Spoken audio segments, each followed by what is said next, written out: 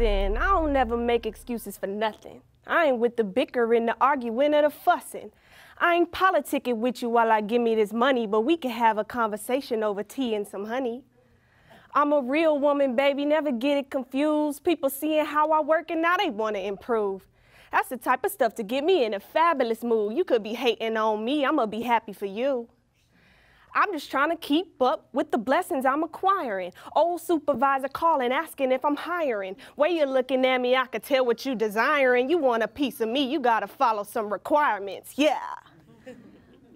I have always had a deep love for music. I would listen to it in the morning, on the way to school, at lunch. I would have listened to it at dinner, but my dad used to tell me this is family time. I would search the lyrics to my favorite songs just so I wouldn't miss a beat when singing along. My mom would yell from the other room, You better know that homework as well as you know that song. She would drive me crazy. Luckily for the both of us, I was blessed to graduate with a BA in Media Studies from UC Berkeley this past May. Well, my degree in education is an important part of the story I'm about to tell you. I was raised in Inglewood, California, which is a small city in Los Angeles. Palm trees and beautiful beaches, my hometown is an amazing place and had a tremendous impact on the person I am today. And I think I'm doing all right. Not realizing it at the time, every day in my neighborhood prepared me for life in the outside world, as we were expected to abide by a certain code of conduct. What subjects to discuss in public, and which were off limits, what you were expected to know, and what questions not to ask. The most important info in the code of conduct was how you should and should not behave, especially for women and girls. Like any teenager, conversations of sexual activity would happen from time to time. Who was doing it, who did what to whom, right? But terms like consent or assault were rarely used. I hadn't learned the full scope of these words until later on in my life, and I'm not alone. In 2017, Planned Parenthood surveyed 2,012 people on consent and sexual assault. Less than a third of the people who responded to this nationally representative survey said they were taught anything at all related to these topics in grade school. With extracurricular education under resourced at my high school, I was never able to experience any form of sexual education courses. My older siblings and cousins often whispered key lessons to me about how to be safe in navigating through the world as a female person, right?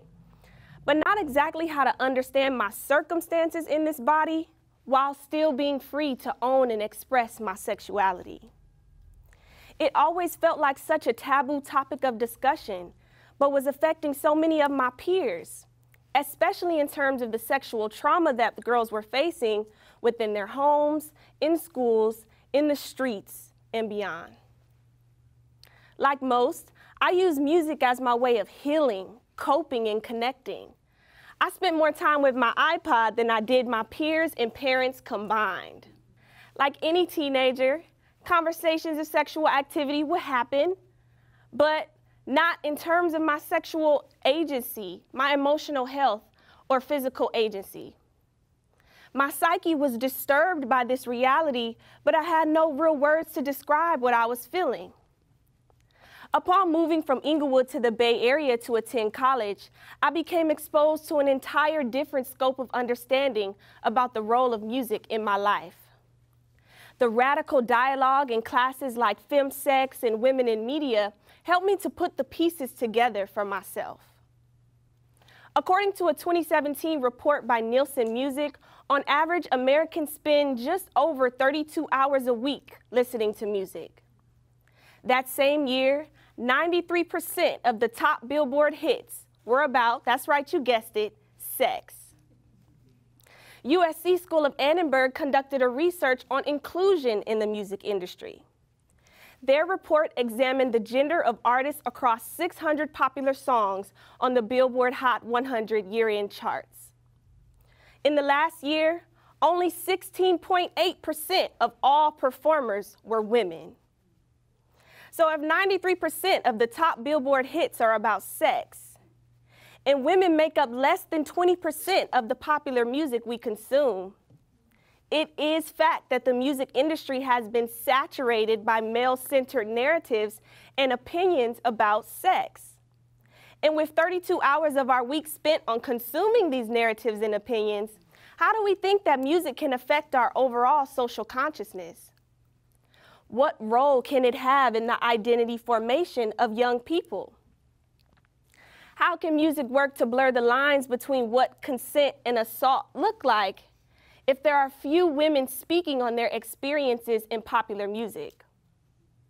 While some music has been criticized for its objectification of women, I believe that a lack of female representation in the industry can be just as harmful.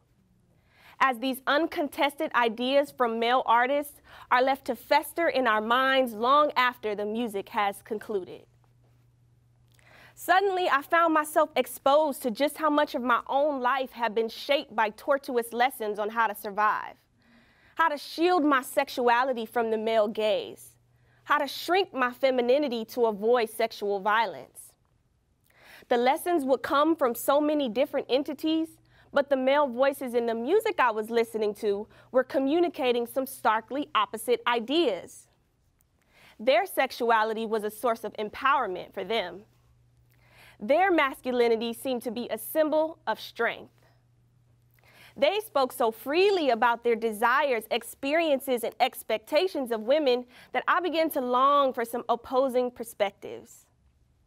I wanted to hear women exude the same confidence as my male faves, music that made me proud and comfortable with the power of my womanhood. Society is currently in a women in music renaissance, if you will.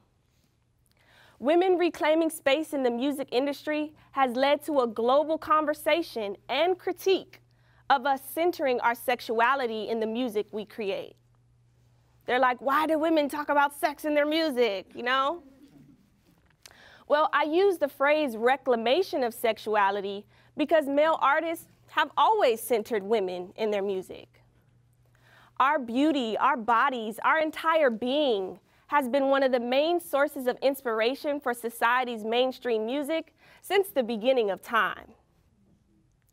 Critics have seemed relatively comfortable with the hypersexualization of women by male artists, but are discontent with us reclaiming that energy for ourselves and rechanneling it toward the empowerment of women and girls. Rechanneling it toward the empowerment of all women and all girls. I can attest that once I became more intentional about the music I consumed, there was an evolution of my internal and external voice. The dialogue I had with myself and others was no longer dictated by that code of conduct my womanhood seemed to attribute to me.